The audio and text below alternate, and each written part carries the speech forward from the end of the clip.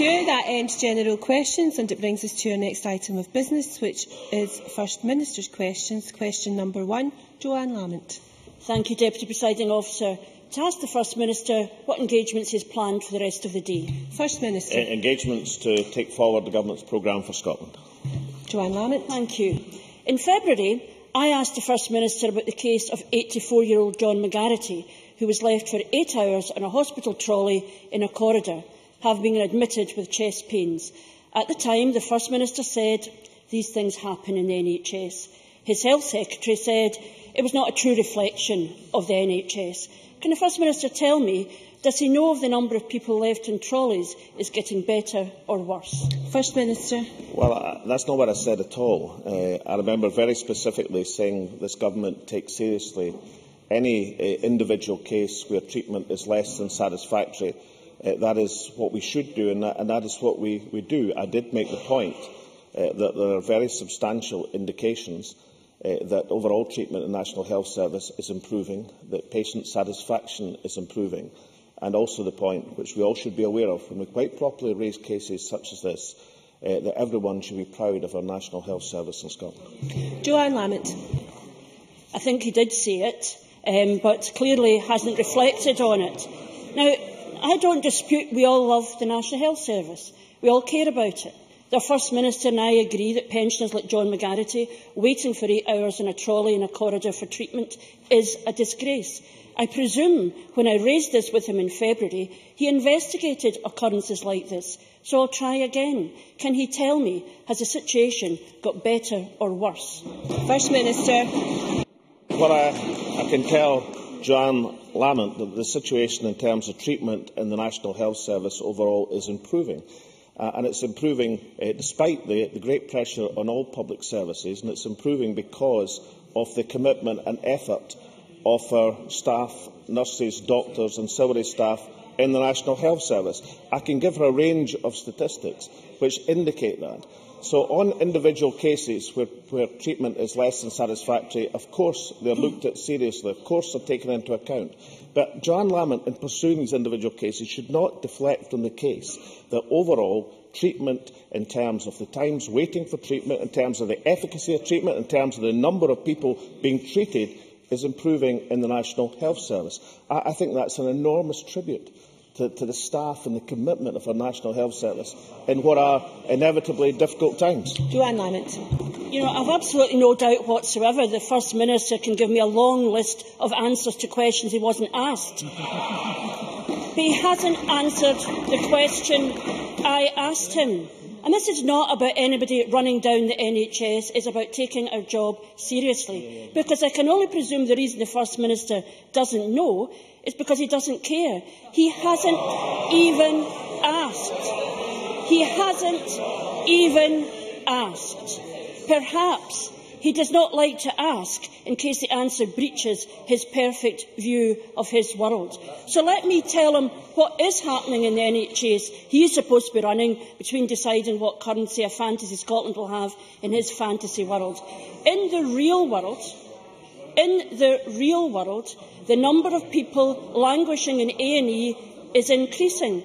And we know that thanks to a freedom of information request in our health boards.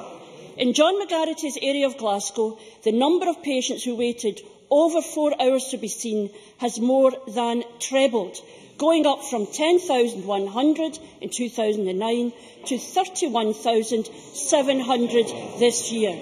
Let's look across Scotland. In NHS Lanarkshire, the Health Secretary's own backyard, the number of patients waiting more than four hours in A&E has also more than trebled. In Grampian, the First Minister's own backyard, there was a 1,300 increase in patients waiting more than four hours in A&E compared to last year. Now the First Minister knows what's happening in the NHS on his watch. Will he tell us what he's going to do about it? First Minister. Order, First Minister. Isn't that exactly why the Health Secretary uh, announced a plan for reinforcing the staff and resources at accident and emergency units across Scotland so that winter pressures can be sustained and the position can be improved? The, well, that is what the Health Secretary has announced because that is the correct response to the pressures we've seen over this winter. Uh, the capacity of our accident and emergency units has substantially increased under this government. The number of treatment, diagnosis and treatment carried out in hospitals and A&E departments are up by 6% since 2006-07 under this government. And that has been able to be done because the resource budget of the National Health Service in Scotland has increased under this government, despite the extraordinary financial pressures imposed on us from Westminster. We know that would not have happened had the Labour Party been in power. And we know that because the Labour Party would not commit either in 2007 or in 2011 in the run-up to the election to protect the budget of the National Health Service. And we also know it because the only place that Labour are in power in these islands is where there has been a real-term decline in National Health Service funding. And that is a reality. So let's answer the question in this sense.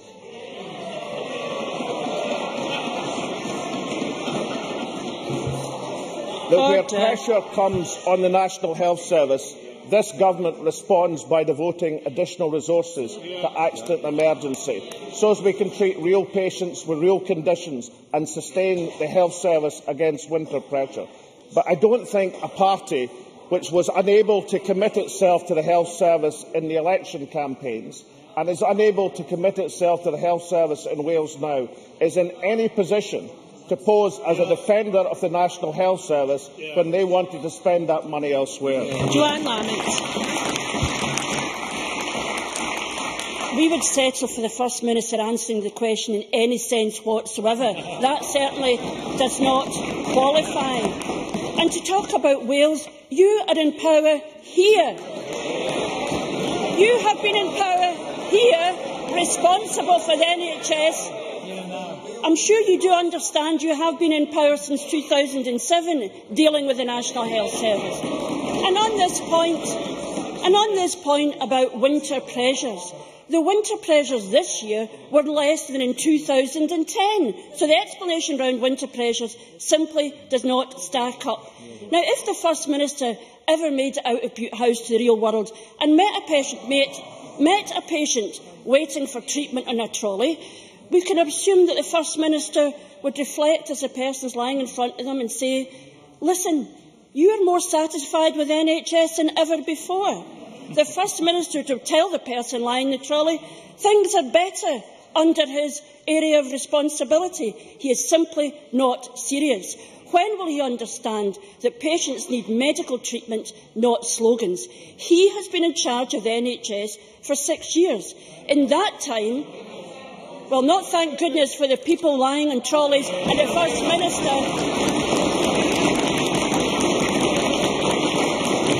The First Minister tells them they should be grateful for that. Not thank goodness at all, because in that time they've been waiting for more than four hours in A&E is increasing. But what does he do?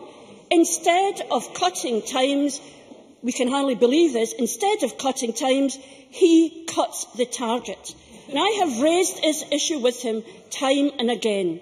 And isn't it the case that the reason things have got worse, the reason he has done nothing to improve the situation, the reason he doesn't even know is because he doesn't care about the NHS patients.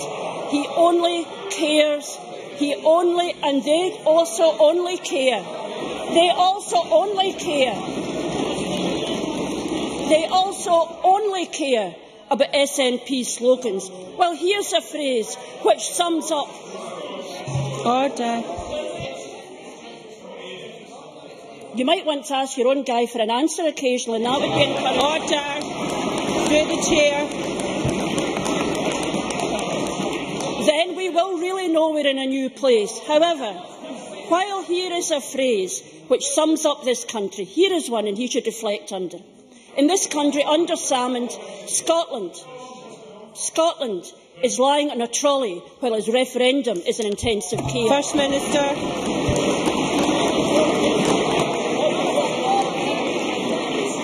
Order, uh, First Minister. It, it, did, it did strike me as uh, I, I was listening to that that folk being treated now in Monklands in Ayr Hospital accident emergency.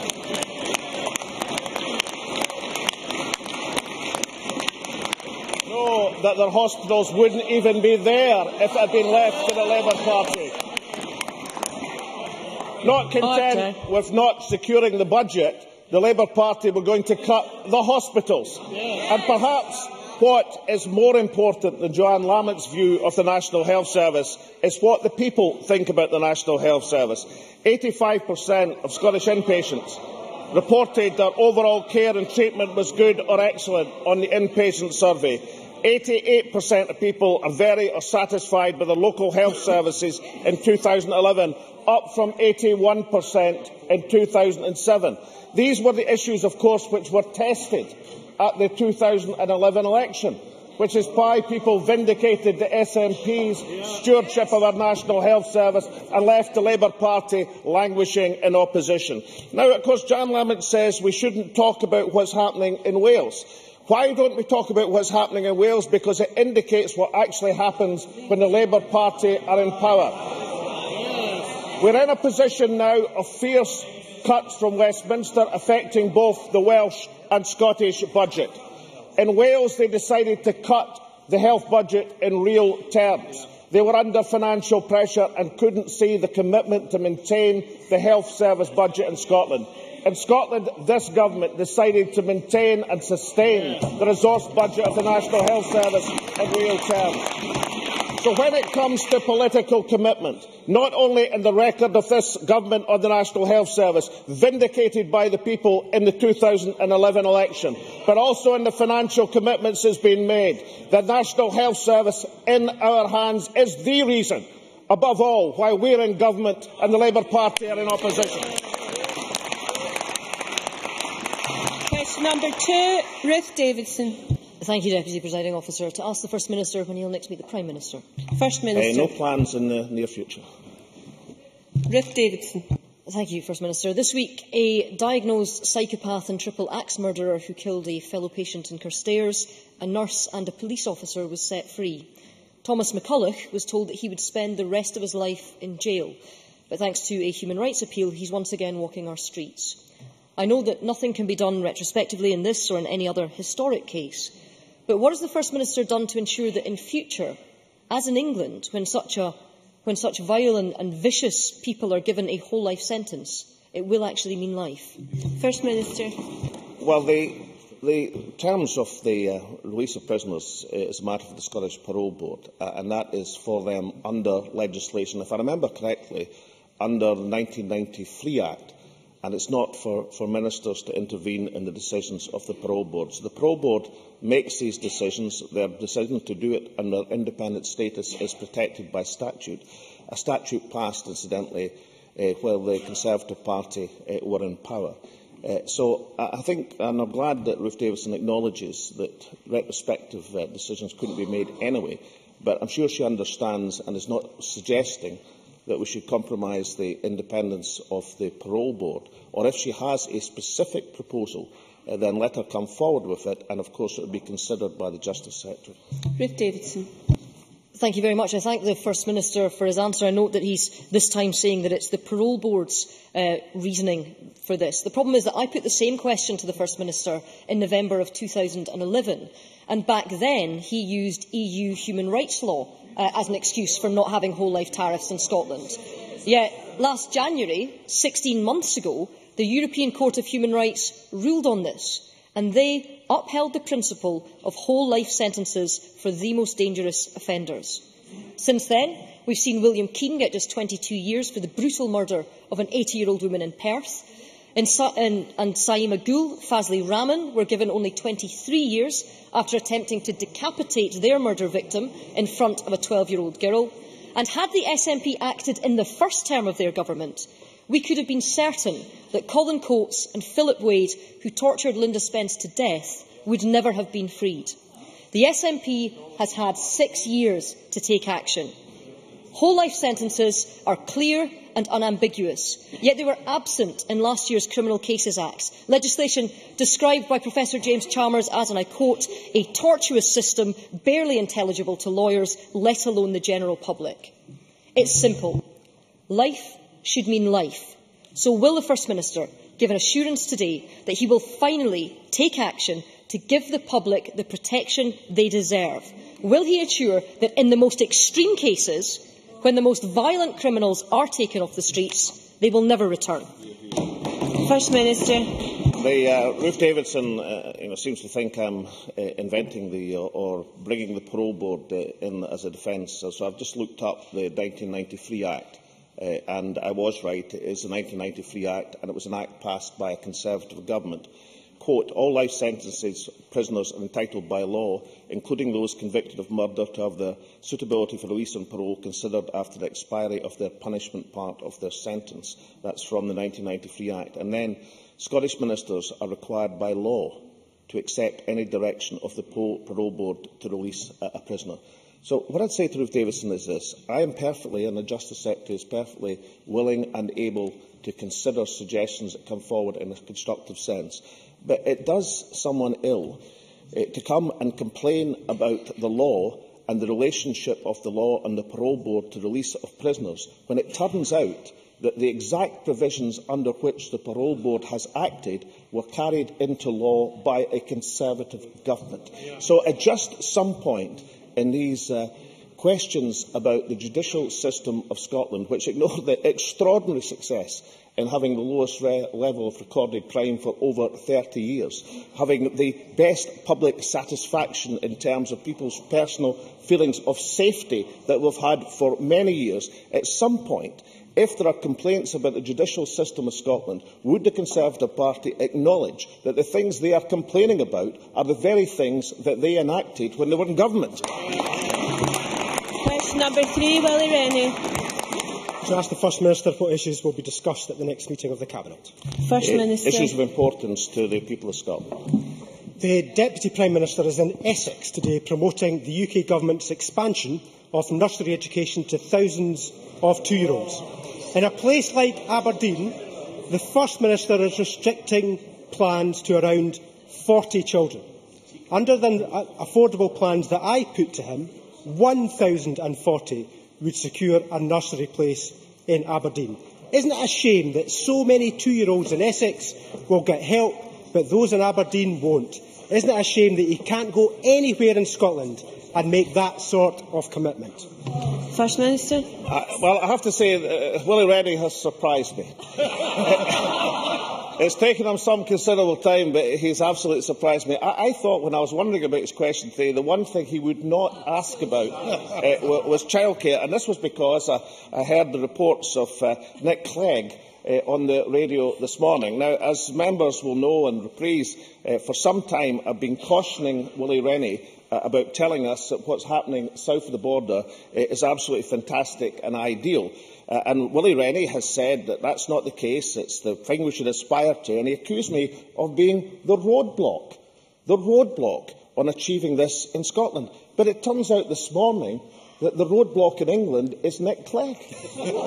because he has said and indicated to Conservatives that he will block government reforms to adult-child ratios in childcare, and his veto, it said, will jeopardise the entire childcare package. Because Nick Clegg has finally paid attention to the points I've been making successively to Willie Rennie over the last few weeks when I've warned him that the dilution of ratios poses a severe danger to the quality of provision. So I'm now in the position of having converted his party leader to the points I'm making. At some stage, I shall manage to convert Willie Rennie. Willie Rennie. I anticipated that the First Minister thought that I would ask this question. I wonder, I wonder if there will ever be a week in which the First Minister doesn't use an excuse to do nothing, absolutely nothing for two-year-olds. The First Minister seems to be taking a leaf out of the Homer Simpson book. Homer Simpson. Homer Simpson said, if something's hard to do, then it's not worth doing at all. It's quite remarkable, it's quite remarkable, while the UK government battles, battles to improve the life chances for two-year-olds, the First Minister does nothing. He does nothing but raise the white flag. He's got excuse after excuse for doing absolutely nothing. It's good for two-year-olds in Essex. Why is it not good enough for two-year-olds in Aberdeen? First Minister. This is, this is kamikaze. no, no, it, it, the point that Nick Clegg's making, he thinks it's not good for two-year-olds in Essex to be lowering the quality. And the UK government are not battling to expand childcare at the moment, they're battling with each other.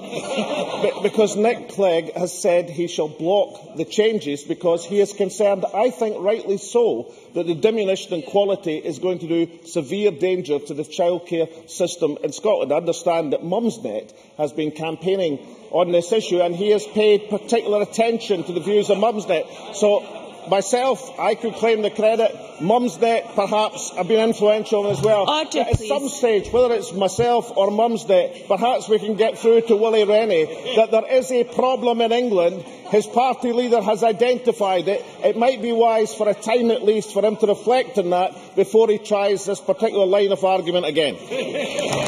Question number four, Annabelle Ewing. Uh, thank you, Presiding Officer. To ask the First Minister what the implications for Scotland are of the Queen's speech. First Minister. Well, yesterday I think what we were looking for from the Queen's speech was an indication that the Westminster Government realised the seriousness of the economic situation facing the country in terms of the lack of growth in the economy and indicating that there were going to be new measures to deal with it. Not only was that not in the Queen's speech, uh, but there was a dropping of progressive measures in terms of minimum pricing for alcohol. There was no legal commitment to overseas aid, despite repeated promises. And I think overall, that speech would indicate why this country needs good government from uh, this Parliament as opposed to bad government from Westminster. Annabelle Ewing. I thank the, the First Minister for his answer, and, and certainly uh, yesterday proved that Westminster isn't working for Scotland. Does the First Minister agree that, particularly in these tough economic times that people are facing, what we need to see is a UK government which is actually focused on delivering jobs and prosperity for Scotland, rather, rather than pandering in a blind panic to the threat of UKIP after last week's local elections south of the border? First Minister. Well, I I think that uh, analysis about the UK government's uh, response uh, is widely shared among political commentators and indeed uh, politicians uh, at Westminster. It would be unfortunate because I think the real issues that are emerging were not contained in the Queen's speech yesterday. The real issues that are emerging uh, are what's happening in terms of the new spending review uh, which is currently being prepared at Westminster. The Institute of Fiscal Studies said yesterday, quote, the current government's plan, Westminster that is, is for eight successive years of tax increases and spending cuts. That's from the Institute of Fiscal Studies. And so it seems that the, the choices facing Scotland are clear, because we've heard so much from the no campaigners on the Labour and Tory side about the uncertainty of independence. Here is a certainty of UK government, eight successive years of tax increases and spending cuts on the Scottish people. Brief supplementary, Gavin Brown. Thank you, uh, Deputy Presiding Officer. Allow me to cheer up the First Minister and his backbenchers just a little bit. The, uh, Briefly, the, please. The National Insurance Contributions Bill was in the Queen's speech yesterday, and this got a big thumbs up from the Federation of Small Businesses, who said it was a shot in the arm. Yeah. What is the First Minister's view on the National Insurance Contributions Bill?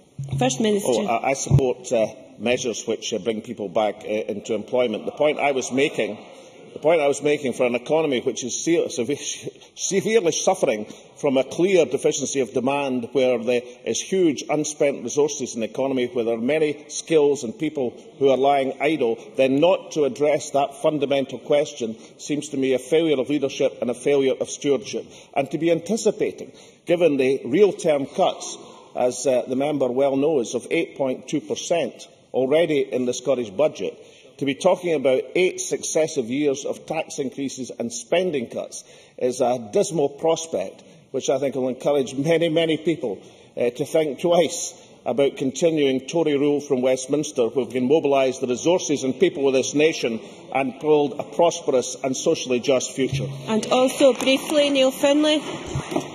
Yesterday, the UK Government dropped plans to regulate the lobbying industry. Does the uh, uh, First Minister think that was a mistake? And does he support plans to regulate the industry in Scotland? First Minister. Well, if the, the member brings forward the ideas for plans, we'll see how they're appropriate uh, to the work of, of this Parliament. I think it should be said in general that this Parliament operates in terms of a greater degree of transparency than the Westminster Parliament, having served in both uh, I'm in a reasonable position to judge that. But if the member brings forward suggestions in a positive fashion, then they'll be treated in a positive fashion by this government. Thank you. Question number five, Jackie Baillie. To ask the First Minister whether the reported comments of the Cabinet Secretary for Health and Wellbeing that we are still going to need the same number of beds the same number of hospitals, the same number of doctors and nurses, just to stand still, in relation to an ageing population, reflect Scottish Government policy? First Minister. Well, the Cabinet Secretary, and I have the full quote here, which Jackie Baillie hasn't used, was talking about the population of over 75-year-olds being set to double and made the arithmetic point that if we were able, through better treatment at home, to reduce by 50% the level of hospitalisation, then the automatic calculation follows. I think yesterday the Cabinet Secretary announced development of the new bed planning tool, which will draw on the expertise of NHS staff and planners to ensure that health boards have the right type of specialist beds in the right places at the right time to meet patient demand.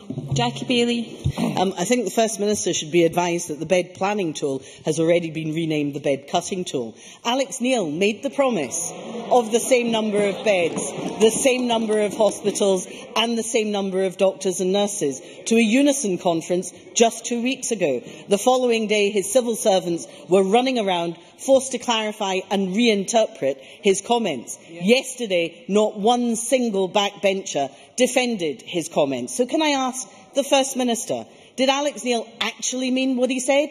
Or was he simply expressing his view in terms of the debate? First Minister. The, uh, I heard uh, an interview with Jackie Baillie uh, on the radio yesterday.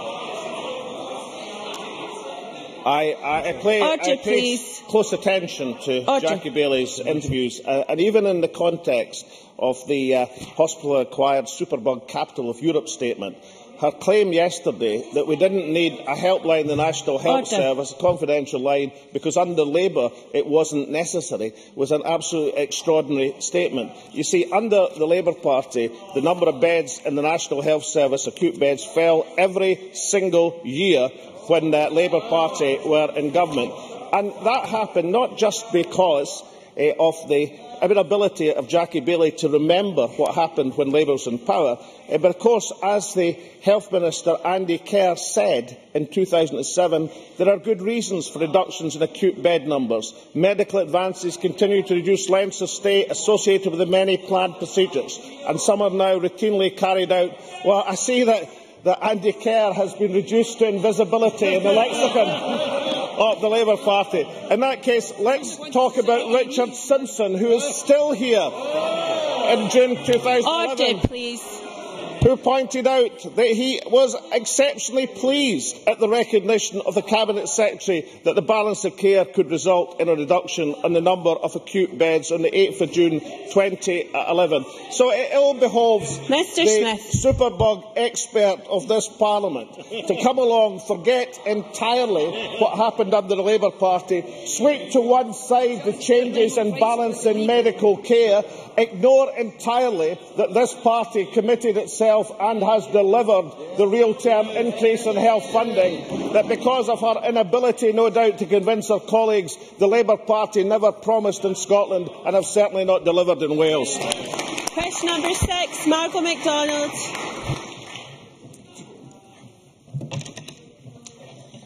Apologies, Presiding Officer to ask the First Minister what the Scottish Government's response is to the recent Foreign Affairs Committee report on the consequences of Scottish independence. First Minister. Well, I, I thought uh, some of the uh, committee's report was eminently sensible. Uh, for example, when I quote, we do not doubt that Scotland as an independent country could play a valuable role in Europe, uh, unquote. However, it should be said that not everybody was convinced by uh, the Foreign Affairs uh, Committee. Uh, the Tory MP Douglas Carswell said, I can think of lots of good reasons from his perspective why Scotland might want to vote to remain part of the United Kingdom, but the Foreign, Foreign Affairs Select Committee report today is certainly not one of them. Margo MacDonald. I'm surprised that the First Minister was surprised, presiding officer. I don't know what he expected from such a committee at such a time. However, what struck me was that far from being, uh, having an interest in Scotland, really, which it was meant to have, this report ended up being absolutely fraught with anxiety about what would happen to the reduced status of the rest of the United Kingdom when Scotland becomes independent. And they were certainly talking about the reduced post-independence position in the UN Security Council, the G8 and the European Union.